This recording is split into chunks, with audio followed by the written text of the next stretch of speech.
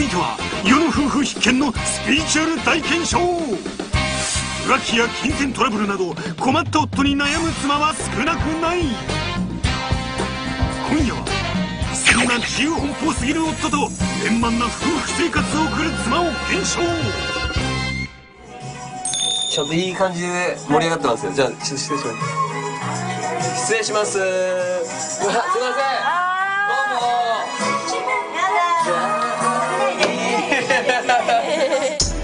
まずは松本伊代。夫のひろみは多彩な趣味に自由。またさまざまな仕事にも自由な男。そして青田のり子夫は愛に豪快なあの玉置浩二これまで流した浮き名は数知れず。二人に最近の夫の様子を聞いてみると。自由な。のり2時間後沖縄行こうとかね。そういうのありますね、明日ガム行こうよとか、そういうのはあります。え素敵じゃない素敵じゃないの。全然準備できてないし、予定いろいろあるから。青田は何が起こるかわからないはちゃめちゃな生活に。一方。なんかどうやら私の知らない倉庫があるらしいんですよ。ええー、怪しい。怪しい。なんかちょっと生活できるっぽい倉庫なのかなビオちゃんは謎の倉庫生活に悩んでいた。自由奔放な夫に振り回されているこの2人。しかしなぜ離婚せず家庭円満なのか。今宵は自由すぎる夫と円満でいられる秘訣に迫る。まずは青田のり子から。なんか一回ライブ行ったらなんか玉木さんがいてで青戸さんを呼んでキスし始めて びっくりしたことがあって。夏のロッキンであはい出てたじゃないですか。そうそうですね。はい。え出る予定じゃなかったんですけどはい。のりちょっと来いって言って一緒に出会うって言われて。愛のラブのメッセージってことだと思うんですよ。えー、すげえな。メッセージなんですけどねそんな愛が強すぎる破天荒の夫玉置浩二。あの青田のり子はどんな夫婦生活を営んでいるのか？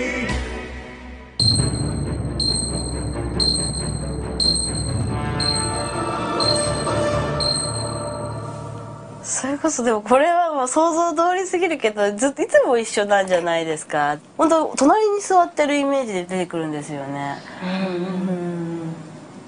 そうですずねっとくっついてます？そうですね。え似てる。ー、くっついてるうんうんうん。上の硬いとか下の硬い？ずっとイチャイチャしてるって。映像で見えます？いや映像で見えないさらにあの旦那様も意外と寂しがり屋とかなんか弱い部分もいっぱい持ってる人ですよね。だからこそなんか本当になんか青戸さんにギューって感じで落ち着くんだと思います。同じ部分が分かり合えるみたいな。すごい。そう。え。ああの人なんか自由な感じがするけど、ものすごく繊細ねひそうひ秘めてるものがあってそこがすごい共鳴するんだなって思います。私その最初、ん。玉木に出会った時に、私よりも寂しい目をしてたんですよ。で私のこの孤独な気持ちを分かってくれる人に出会えたってがあのまあなんか分かってたので。よくわからないがとにかく第一印象から強力な運命を感じていたという青田。多分そういう人ずっと求めてたんだろうなって思ってます。そうですね、今こうそうそれで私はなんかこう一人じゃないっていうか同じ寂しさを知ってる人に出会えたと思ったんですよ。おー寂しい目してたで今までの自分の人生なかったような経験をすることがあったりとかなんかそっちに引っ張られちゃうことがあるかもしれないけどそれもまあ新鮮で新しい人生だと思って。すごいね。振り回されてますジェットコースターみたいな毎日ですね。なるほど。辛くはないですか？あのこれが不思議なものでだんだん慣れてくるんですよ、でそれがないと物足りなくなるんですよ。ド M ですねもうね。ああそうですね。結論愛が強すぎる破天荒な夫にはド M な妻がぴったりだということが分かった。家の中がどう続いては伊代ちゃん。とは多彩な趣味や仕事に自由なヒロミ。振り回されて正直しんどいなみたいなとこってありました？うん、なんかね振り回されてる感はないんですよ。でも、うん。なんかあの「あどうしたのこの車」って買ったんだよとか「あどーうしたのこのバイクって買ったんだよ」とか。あのそれが振り回されてるのかが分かんないですけど、うん、それ多々あり振ります回されてるんじゃないですか、う んそれに気づかないっていうゆうさんがね、さらに。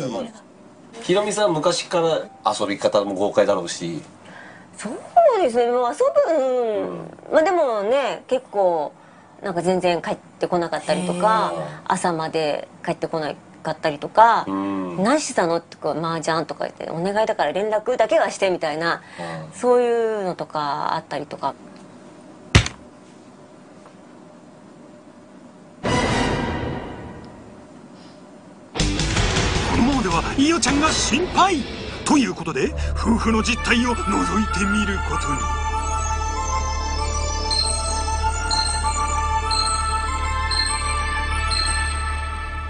あすごい綺麗にしてる感じがしますね。でもこれあれじゃないですかひろみさんもすごい綺麗好きなんじゃないですか？うんうんうんうんうんひろみさんがね。そう神経質。うんうんであとはなんかひろみさんがすごい収納が好きみたいな感じがするんですようんうんねうん。見えないのがいいんですよねなんかちゃんあーうんうん。全部こうなんかボックスみたいなのに全部入れて。テプラみたいのでな 何々みたいな。貼って。これはティッシュ。うん。これはトイレットペーパー。うん。これは燃えるゴミ。はい。へえ自由奔放っていうかまあきっちりしてますね、うん。なんかひろみさんうは、はい。さらに。とでもあとはなんかひろみさんがななんてかわかんないですけどキッチンにでいる様子が見えるから、だからお料理とかもすごいしてくれるんじゃないですか、ああそうですそうです。お料理もすごいよくしてくれて、うん。あのー夕飯とか、うん。あと私がもうそのままにして出かけちゃった後を洗って、あの置いといてくれたりとかすごいキッチンに入ることが多いですね。なんと知恵に見えてきたのは家庭に貢献するヒロミの姿。そしてうんこれどういう意味なんだろう。待ってください。うん。とわすなんかなくし物に気をつけなさいってこと言ってんですよね。なんかか鍵？をなくさないようにってことを言ってて。この後知恵が受け取ったメッセージに伊代ちゃん衝撃発言。そんなの。一体何が？なんかなくし物に気をつけなさいってこと言ってんですよね。なんかか鍵？をなくさないようにってことを言ってて鍵をなくさないようにという言葉に伊代ちゃん衝撃発言。そんなのしょっちゅう。しょっちゅうですね。出ましたしょっちゅう。まあ鍵に限らずもうほんと携帯、ん。あとお財布落とすとか、うん。あります。のとおお財布を落とすとかも結構ありますね、へー。あそこに鍵もついてる時とかもありましたけど。うん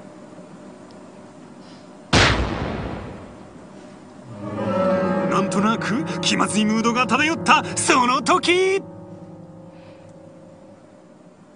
自由なの伊代さんなんじゃないかな。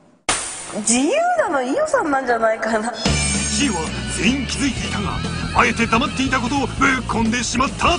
そして。ひろみさんすごいなんか。ひろみさんってもうちょっと自由奔放なのかと結論。趣味にお金をかける自由な夫にはもっと自由すぎる妻がぴったりだということが分かった。続いては世の夫婦必見のスピリチュアル大検証浮気や金銭トラブルなど困った夫に悩む妻は少なくない。今夜はそんな自由奔放すぎる夫と円満な夫婦生活を送る妻を検証。ちょっといい感じで盛り上がってますよ。じゃあちょっと失礼します。失礼します。うわすいません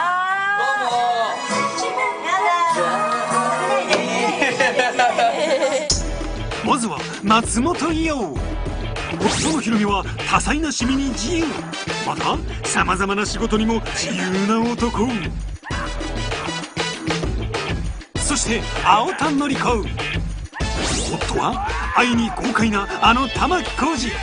これまで流した浮き名は数知れず二人に最近の夫の様子を聞いてみると。のり2時間後沖縄行こうとかね。そういうのありますね、明日ガム行こうよとか、そういうのはあります。え素敵じゃない素敵じゃな。いの全然準備できてないし、予定いろいろあるから。青田は何が起こるかわからないはちゃめちゃな生活に。一方。なんかどうやら私の知らない倉庫があるらしいんですよ。ええー、怪しい。怪しい。なんかちょっと生活できるっぽい倉庫なのかな。ビオちゃんは謎の倉庫生活に悩んでいた。自由奔放な夫に振り回されているこの二人。しかしなぜ離婚せず家庭円満なのか。今宵は自由すぎる夫と円満でいられる秘訣に迫るまずは青田のり子から。なんか一回ライブ行ったらなんか玉木さんがいてで青戸さんを呼んでキスし始めて びっくりしたことがあって。夏のロッキンであはい出てたじゃないですか。そうそうですね。はい。え出る予定じゃなかったんですけどはい。のりちょっと来いって言って一緒に出会うって言われて。愛のラブのメッセージってことだと思うんですよ。えー、すげえな。メッセージなんですけどねそんな愛が強すぎる破天荒の夫玉置浩二。あの青田のり子はどんな夫婦生活を営んでいるのか？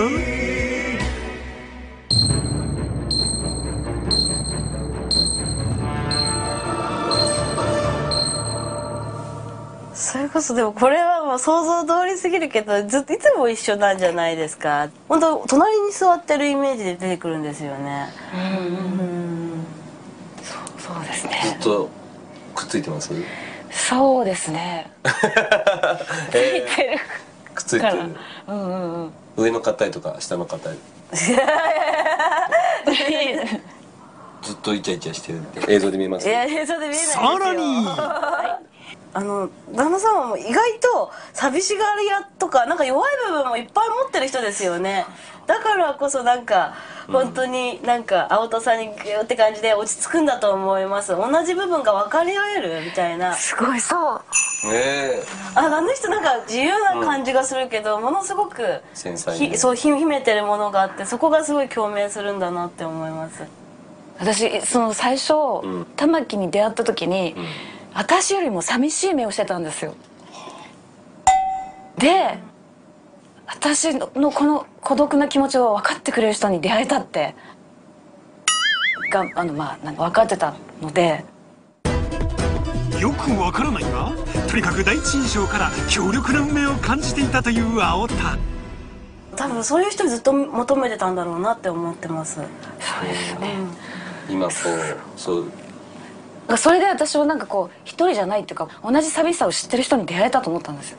おー寂しい目してたで今までの自分の人生なかったような経験をすることがあったりとかなんかそっちに引っ張られちゃうことがあるかもしれないけどそれもまあ新鮮で新しい人生だと思って。すごいね。振り回されてますジェットコースターみたいな毎日ですね。なるほど。辛くはないですか？あのこれが不思議なものでだんだん慣れてくるんですよ、でそれがないと物足りなくなるんですよ。ド M ですねもうね。ああそうですね。結論愛が強すぎる破天荒な夫にはド M な妻がぴったりだということが分かった。家の中がどう続いては伊代ちゃん。夫は多彩な趣味や仕事に自由なヒロミ振り回されて正直しんどいなみたいなとこってありました？うん、なんかね振り回されてる感はないんですよ。でも、うん。なんかあの「あどうしたのこの車」って買ったんだよとか「おー。どうしたのこのバイクって買ったんだよ」とか あのそれが振り回されてるのかが分かんないですけど、うん、それ多々あり振ります回されてるんじゃないですか、うん。それに気づかないっていう伊代さんがね。さらにひろみさん昔から遊び方も豪快だろうし。そうですね。もう遊ぶ、うん。まあでもね結構なんか全然帰ってこなかったりとか朝まで帰ってこなかったりとかうん「何してたの?」ってこう「麻雀」とか言って「お願いだから連絡だけはして」みたいなそういうのとかあったりとか。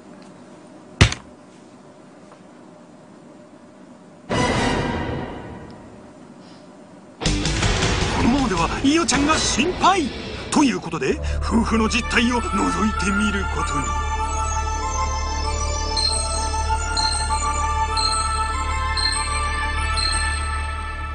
あすごい綺麗にしてる感じがしますね。でもこれあれじゃないですかひろみさんもすごい綺麗好きなんじゃないですか、うんうんうんうんうん。ひろみさんがね。そう神経質、うんうんであとはなんかひろみさんがすごい収納が好きみたいな感じがするんですよね、うんうんうん見えないのがいいんですよねなんかちゃんと。うんうん全部こうなんかボックスみたいなのに全部入れあてテプラみたいのでな 何々みたいな。貼って。これはティッシュ。うん。これはトイレットペーパー。うん。これは燃えるゴミ。はい。へえそうなんだ自由奔放っていうかまあきっちりしてますね。なんかひろみさんうははい。さらに。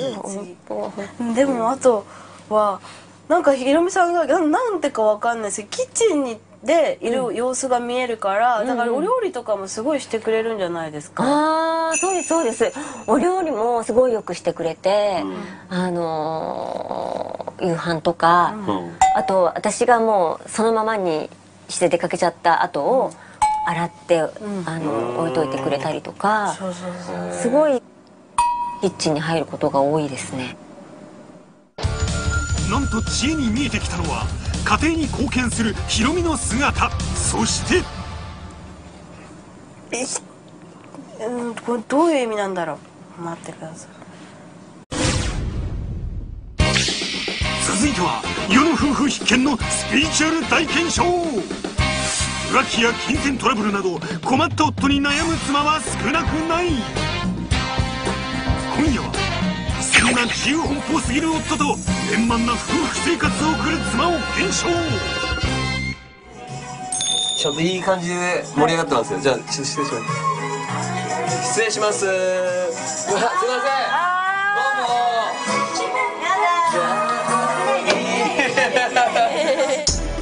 まずは松本伊代。夫のヒロミは多彩な趣味に自由。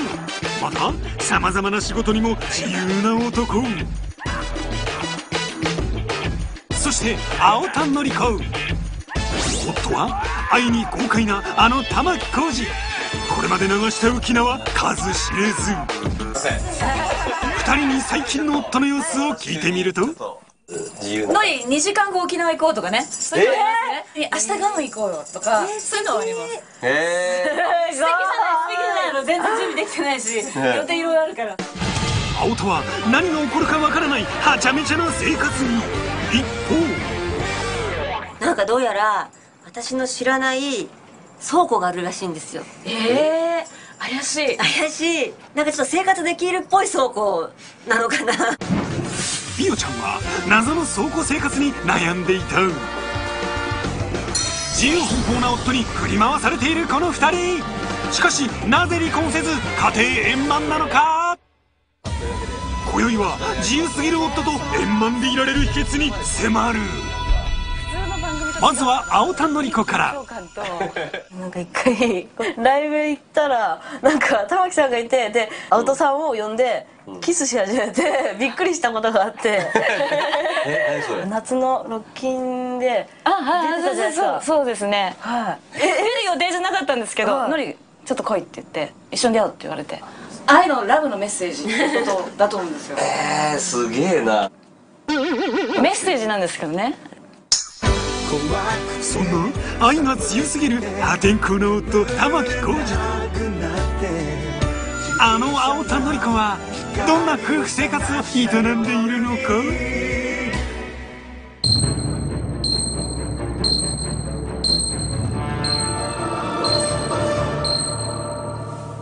それこそでもこれはもう想像通りすぎるけどずっといつも一緒なんじゃないですか。本当隣に座ってるイメージで出てくるんですよね。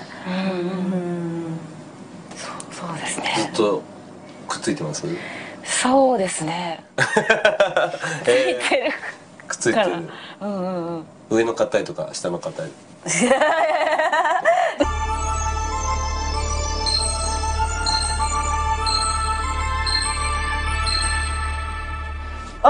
すごい綺麗にしてる感じがしますね。でもこれあれじゃないですか。ひろみさんもすごい綺麗好きなんじゃないですか。うんうんうんうんうんひろみさんがね。そう神経質。うんうんであとはなんかひろみさんがすごい収納が好きみたいな感じがするんですようんうんねうん。見えないのがいいんですよねなんかちゃんあーうんうん。全部こうなんかボックスみたいなのに全部入れてテプラみたいので「な何々」みたいな貼ってこれはティッシュ。うんこれはトイレットペーパーうん。これは燃えるゴミ。はい。へえそうなんだ。自由奔放っていうかまあきっちりしてますね。うん。なんかひろみさんうはん。ね。はい。さらに。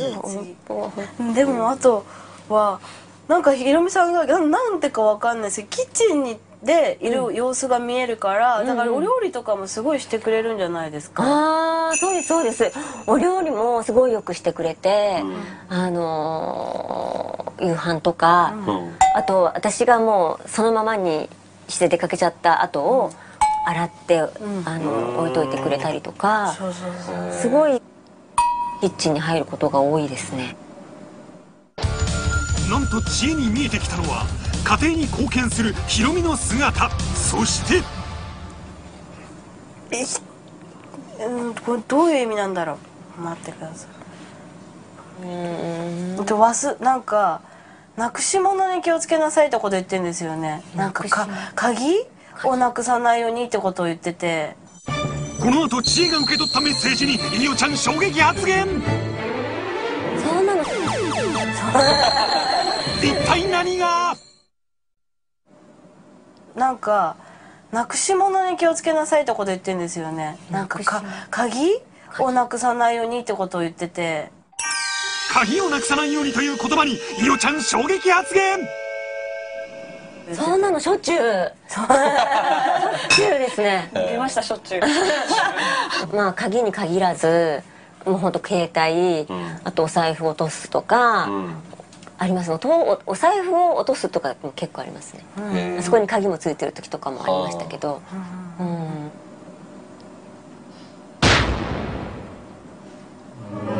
なんとなく気まずいムードが漂ったその時。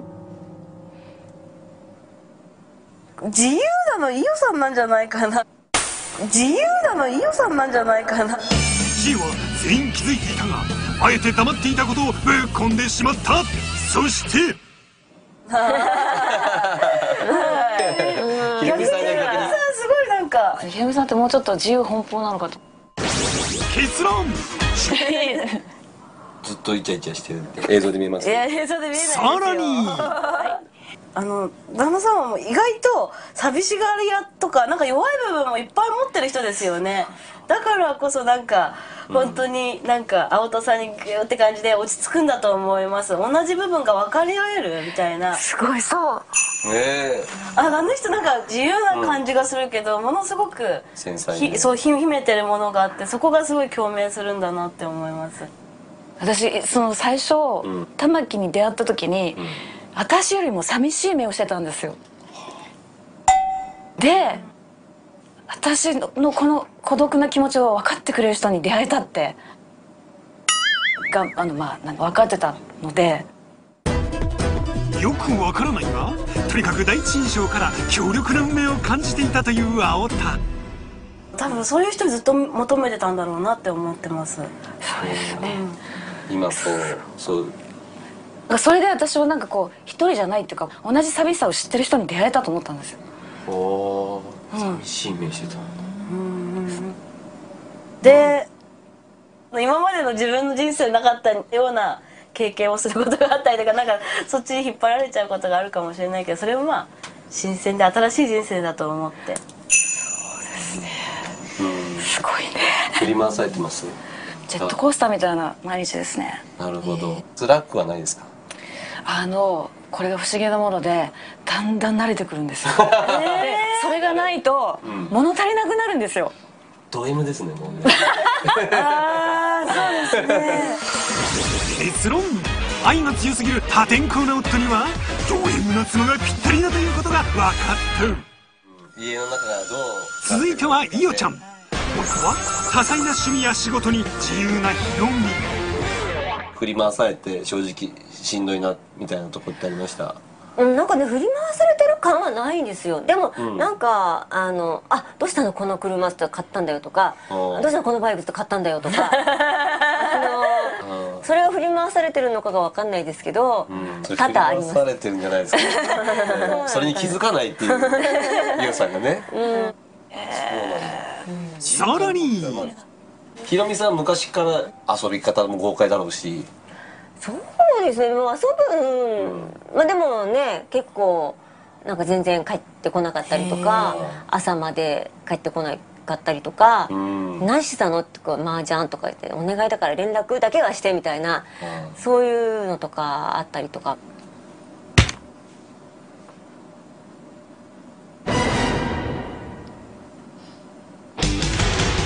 は伊代ちゃんが心配。ということで夫婦の実態を覗いてみることに。えーくっついてる。うんうんうん。上の方とか下の方 ずっとイチャイチャしてるって映像で見えます？いや映像で見えないですよ。さらにあの旦那様も意外と寂しがり屋とかなんか弱い部分もいっぱい持ってる人ですよね。だからこそなんか本当になんか青戸さんにギューって感じで落ち着くんだと思います。同じ部分が分かり合えるみたいな。すごい。そう。ねえ。ああの人なんか自由な感じがするけど、ものすごく繊細に。ひそう秘めてるものがあってそこがすごい共鳴するんだなって思います。私その最初、ん。玉木に出会った時に、私よりも寂しい目をしてたんですよ。で私のこの孤独な気持ちを分かってくれる人に出会えたってがあのまあ分かってたので。よくわからないがとにかく第一印象から強力な運命を感じていたという青田。多分そういう人ずっと求めてたんだろうなって思ってます。今こうそうそれで私はなんかこう一人じゃないっていうか同じ寂しさを知ってる人に出会えたと思ったんですよ。おー寂しい目してた。で今までの自分の人生になかったような経験をすることがあったりとかなんかそっちに引っ張られちゃうことがあるかもしれないけどそれはまあ新鮮で新しい人生だと思って。すごいね振り回されてますジェットコースターみたいな毎日ですね。なるほど。辛くはないですか？あのこれが不思議なものでだんだん慣れてくるんですよ、でそれがないとん。物足りなくなるんですよ。ド M ですねもうね。ああそうですね。結論。愛が強すぎる破天荒な夫にはド M な妻がぴったりだということが分かった。家の中がどう続いては伊代ちゃん。夫は多彩な趣味や仕事に自由なヒロミ振り回されて正直しんどいなみたいなとこってありました？うん、なんかね振り回されてる感はないんですよ。でも、うん。なんかあの「あどうしたの？この車」って買ったんだよとか「おー。どうしたの？このバイクって買ったんだよ」とか あのそれが振り回されてるのかが分かんないですけど、うん。それ多振り回々あります。されてるんじゃないですか、うん。それに気づかないっていう 伊代さんがね。さらにひろみさん昔から遊び方も豪快だろうし。そうですね。もう遊ぶ、うん。まあでもね結構なんか全然帰ってこなかったりとか朝まで帰ってこなかったりとかう、ん。何してたのってこう麻雀とか言って「お願いだから連絡だけはして」みたいなそういうのとかあったりとか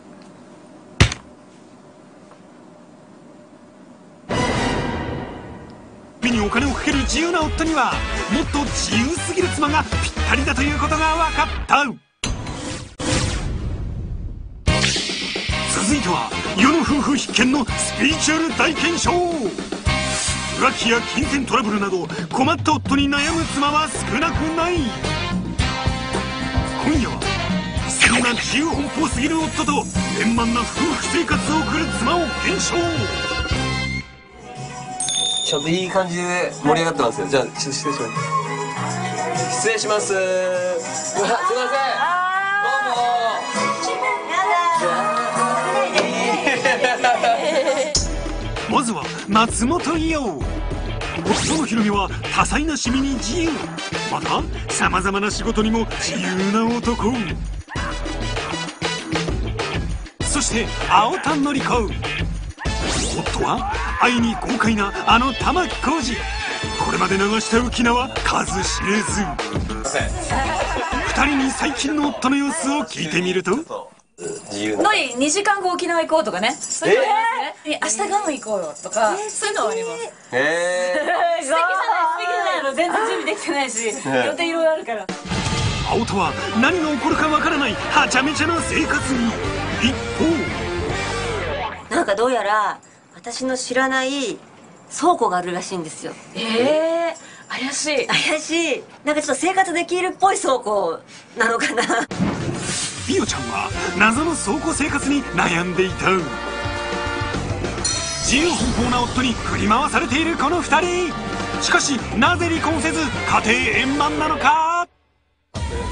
今宵は自由すぎる夫と円満でいられる秘訣に迫るまずは青田のり子から。なんか一回ライブ行ったらなんか玉木さんがいてで青戸さんを呼んでキスし始めて びっくりしたことがあって。夏のロッキンであはい出てたじゃないですか。そうそうそうですね。はい。出る予定じゃなかったんですけどはい。のりちょっと来いって言って一緒に出会うって言われて。愛のラブのメッセージってことだと思うんですよ。えー、すげえな。メッセージなんですけどねそんな愛が強すぎる破天荒な夫玉置浩二。あの青田のり子はどんな夫婦生活を営んでいるのか？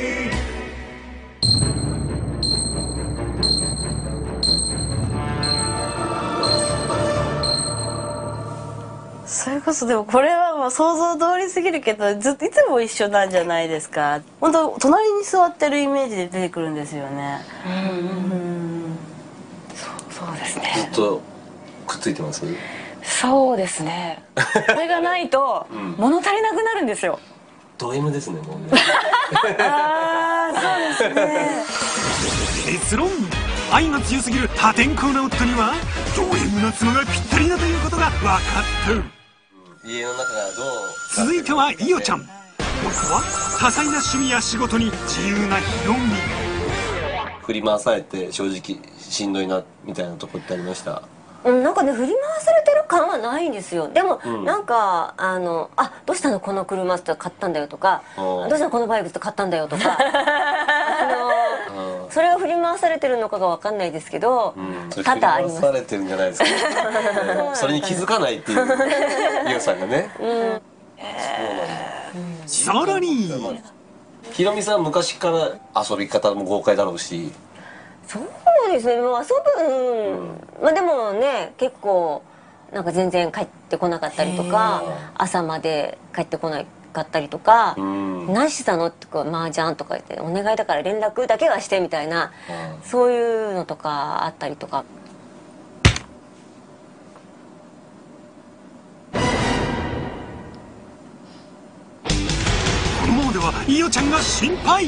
ということで夫婦の実態を覗いてみることに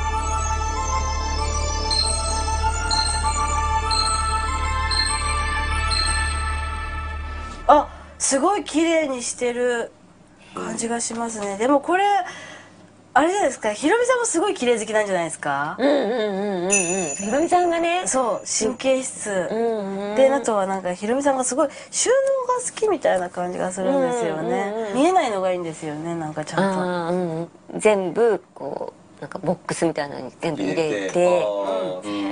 テプラみたいのでな 何々みたいな貼って。これはティッシュ。うんこれはトイレットペーパーうん。これは燃えるゴミ。はい。へえそうなんだ。自由奔放っていうかまあきっちりしてますね。なんかひろみさんうははい。さらに。でもあとはなんかひろみさんがななんてかわかんないですけどキッチンにでいる様子が見えるから、だからお料理とかもすごいしてくれるんじゃないですか、ああそうですそうです。お料理もすごいよくしてくれて、うん。あのー夕飯とか、うん。あと私がもうそのままにして出かけちゃった後を洗って、あの置いといてくれたりとかそうそうそうすごいキッチンに入ることが多いですね。なんと知恵に見えてきたのは家庭に貢献するヒロミの姿。そして。うんこれどういう意味なんだろう。待ってください。つけなさいってこと言ってんですよね。なんかか鍵？をなくさないようにってことを言ってて。鍵をなくさないようにという言葉にいおちゃん衝撃発言そんなのしょっちゅう。しょっちゅうですね。出ましたしょっちゅう。まあ鍵に限らずもうほんと携帯、あとお財布落とすとか、あります。のとおお財布を落とすとかも結構ありますね、へー。あそこに鍵もついてる時とかもありましたけど、うん。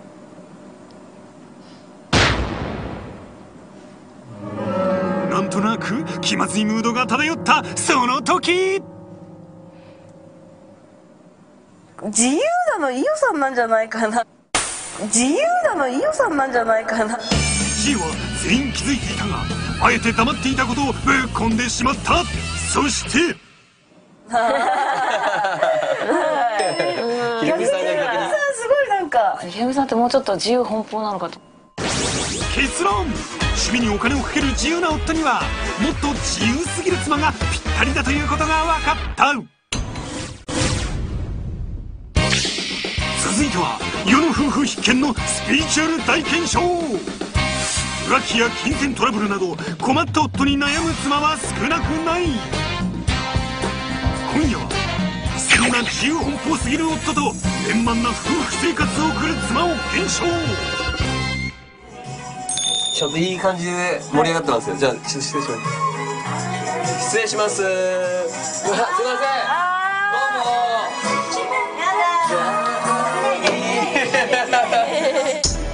まずは松本伊代。夫のヒロミは多彩な趣味に自由。またさまざまな仕事にも自由な男。そして青田のり子。夫は愛に豪快なあの玉置浩二。これまで流した浮き名は数知れず。うません。二人に最近の夫の様子を聞いてみると自由な。のり2時間後沖縄行こうとかね。そういうのありますね、明日ガム行こうよとか、そういうのはあります。素敵。へえじゃない素敵じゃないの。全然準備できてないし予定いろいろあるから。青田は何が起こるかわからないはちゃめちゃな生活に。一方。なんかどうやら私の知らない倉庫があるらしいんですよ。ええー、怪しい。怪しい。なんかちょっと生活できるっぽい倉庫なのかなビオちゃんは謎の倉庫生活に悩んでいた。自由奔放な夫に振り回されているこの二人。しかしなぜ離婚せず家庭円満なのか。今宵は自由すぎる夫と円満でいられる秘訣に迫る。回されているこの二人。しかしなぜ離婚せず家庭円満なのか。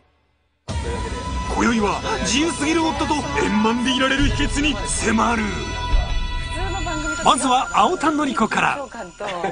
なんか一回ライブ行ったらなんか玉木さんがいてで青戸さんを呼んでキスし始めて びっくりしたことがあって。夏のロッキンであはい出てたじゃないですか。そうそうですね。はい。出る予定じゃなかったんですけどはい「のりちょっと来い」って言って一緒に出会うって言われて。愛のラブのメッセージってことだと思うんですよ。えー、すげえな。メッセージなんですけどねそんな愛が強すぎる破天荒な夫玉置浩二。あの青田のり子はどんな夫婦生活を営んでいるのか？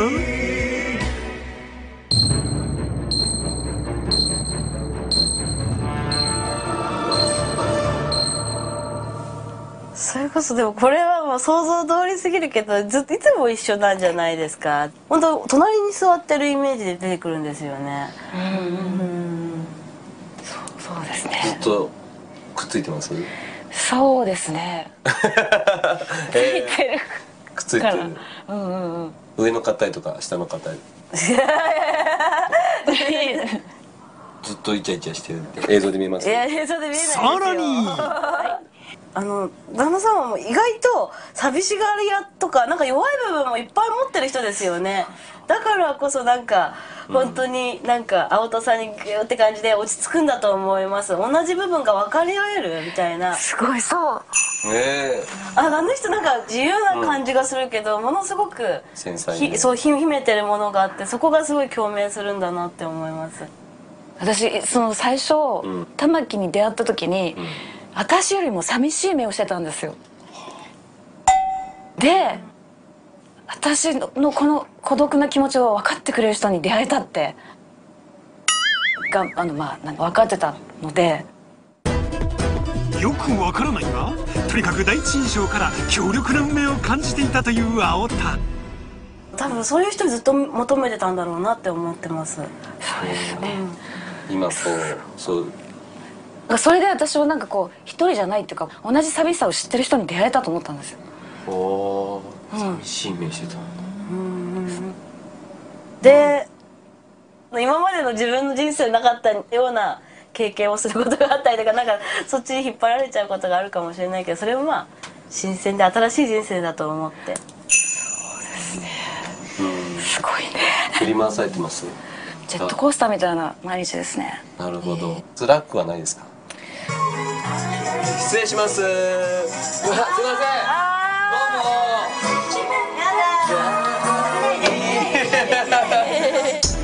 どうまずは松本伊代。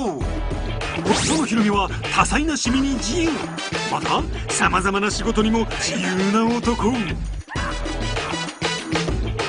そして青田のり子夫は愛に豪快なあの玉置浩二これまで流した浮き名は数知れず二人に最近の夫の様子を聞いてみると。自由なのり2時間後沖縄行こうとかね。そういうのありますね。明日ガム行こうよとかそういうのはあります。え素敵じゃない素敵じゃないの。全然準備できてないし予定いろいろあるから。青田は何が起こるかわからないはちゃめちゃな生活に。一方。なんかどうやら私の知らない倉庫があるらしいんですよ。ええ怪しい。怪しい。なんかちょっと生活できるっぽい倉庫なのかな。ビオちゃんは謎の倉庫生活に悩んでいた。自由奔放な夫に振り回されているこの二人。しかしなぜ離婚せず家庭円満なのか。今宵は自由すぎる夫と円満でいられる秘訣に迫るまずは青田のり子から。なんか一回ライブ行ったらなんか玉木さんがいてで青戸さんを呼んでキスし始めて びっくりしたことがあって。夏のロッキンであはい出てたじゃないですか。そうそうですね。はい。え出る予定じゃなかったんですけどはい。のりちょっと来いって言って一緒に出会うって言われて。愛のラブのメッセージってことだと思うんですよ。えー、すげえな。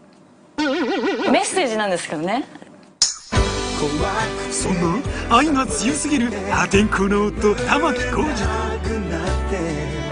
あの青田のり子はどんな夫婦生活を営んでいるのか？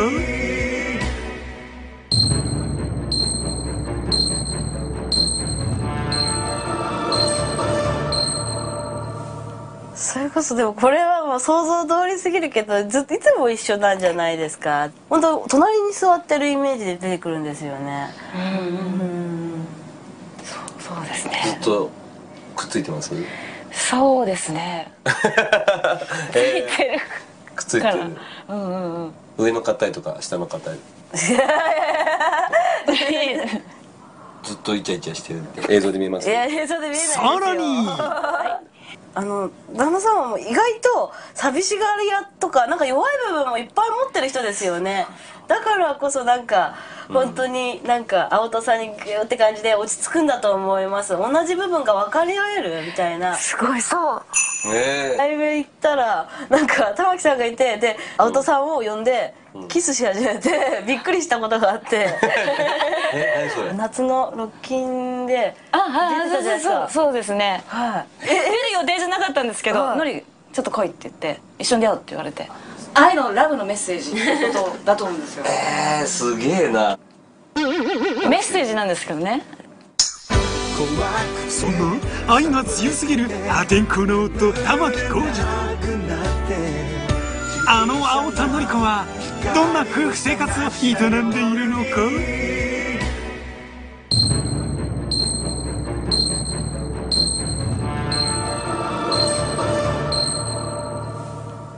こそでもこれはもう想像通りすぎるけどずっといつも一緒なんじゃないですか。本当隣に座ってるイメージで出てくるんですよね。そうですね。ずっとくっついてます？そうですね。ついてる。くっついてるうんうんうん。上の方とか下の方 ずっとイチャイチャしてるって。映像で見えます？いや映像で見えないですよ。さらにあの旦那様も意外と寂しがり屋とかなんか弱い部分もいっぱい持ってる人ですよね。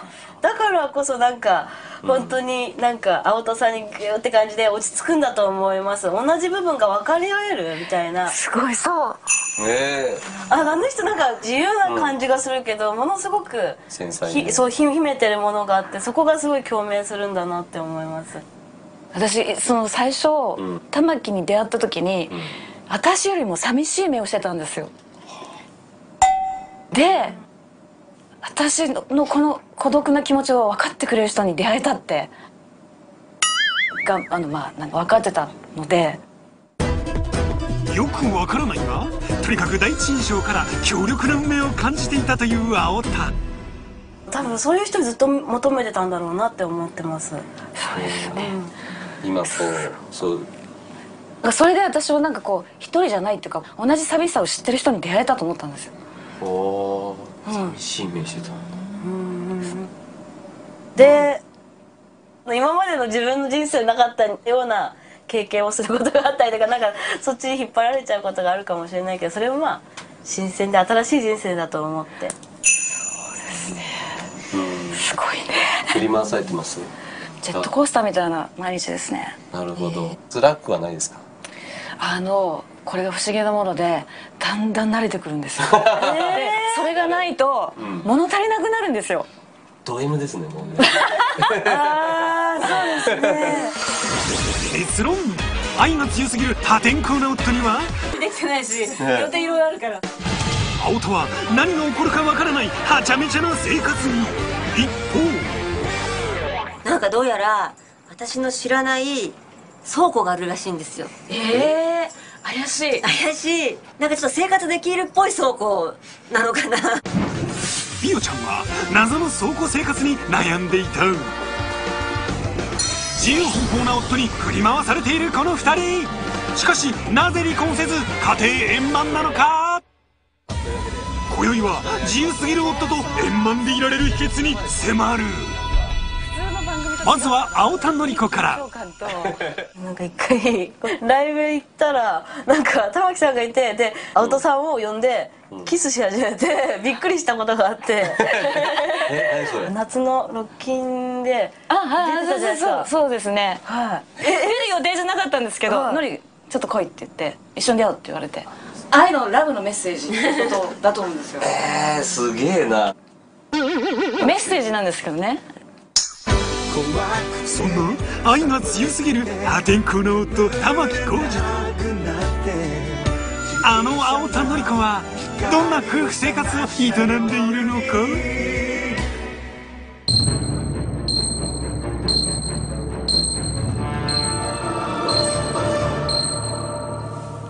それこそでもこれはもう想像通りすぎるけどずっといつも一緒なんじゃないですか。本当隣に座ってるイメージで出てくるんですよね。そうですずっねとくっついてます？そうですね。ついてる。くっついてるうんうんうん。上の方とか下の方あ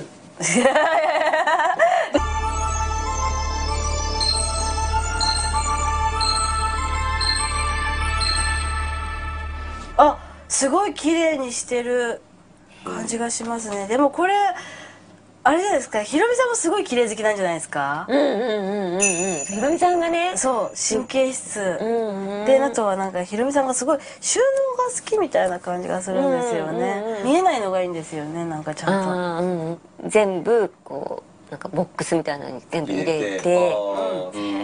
テプラみたいのでな 何々みたいな貼っ入ってこれはティッシュ。うんこれはトイレットペーパーこれは燃えるゴミ、はい。へえそうなんだ。自由奔放っていうかまあきっちりしてますね、なんかひろみさんは、うん。にはい、さらに。でもあとはなんかひろみさんがななんでかわかんないです。けどキッチンにでいる様子が見えるから、だからお料理とかもすごいしてくれるんじゃないですか、ああそうですそうです。お料理もすごいよくしてくれて、あのーそれが振り回されてるのかがわかんないですけど、うん、多々あります。振り回されてるんじゃないですか、うん。それに気づかないっていうゆうさんがね、さらに。ひろみさん昔から遊び方も豪快だろうし。そうですね。もう遊ぶ、まあでもね結構なんか全然帰ってこなかったりとか朝まで帰ってこなかったりとか「うん何してたの?」ってこう麻雀とか言って「お願いだから連絡だけはして」みたいなそういうのとかあったりとか。このままでは伊代ちゃんが心配。ということで夫婦の実態を覗いてみることに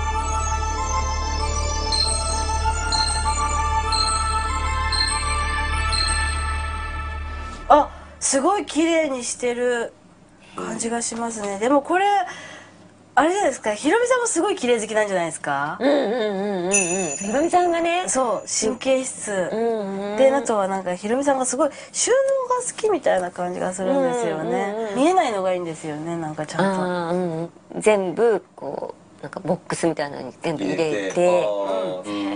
テプラみたいので「な何々」みたいな貼って。これはティッシュ。うんこれはトイレットペーパーうん。これは燃えるゴミ。はい。へえそうなんだ。自由奔放っていうかまあきっちりしてますね、なんかひろみさんは、うん。にはい。さらに。でもあとはなんかひろみさんがななんでかわかんないですけどキッチンにでいる様子が見えるから、だからお料理とかもすごいしてくれるんじゃないですか、ああそうですそうです。お料理もすごいよくしてくれて、あのー夕飯とか、うん。あと私がもうそのままにして出かけちゃった後を洗って、あの置いといてくれたりとかそうそうそうすごいキッチンに入ることが多いですね。なんと知恵に見えてきたのは家庭に貢献するヒロミの姿。そして。うんこれどういう意味なんだろう。待ってください。続いては世の夫婦必見のスピリチュアル大検証浮気や金銭トラブルなど困った夫に悩む妻は少なくない。今夜はそんな自由奔放すぎる夫と円満な夫婦生活を送る妻を検証。ちょっといい感じで盛り上がってますよ。じゃあちょっと失礼します。失礼します。うわすいません。ど